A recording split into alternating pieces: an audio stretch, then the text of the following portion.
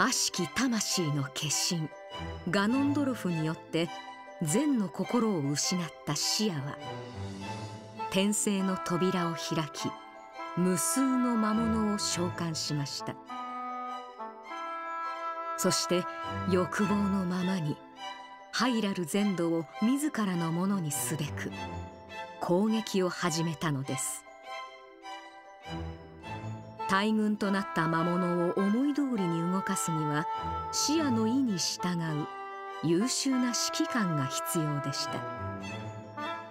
視野には思い当たる存在がありました。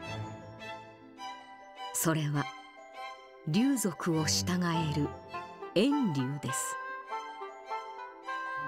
強大な力を持つそのものを服従させ魔物を束ねさせることができればハイラルの支配などすぐに実現できるはず。シアはすぐに行動に出ました。遠竜が住むというオルディン火山へ魔物たちを率いて乗り込んだのです「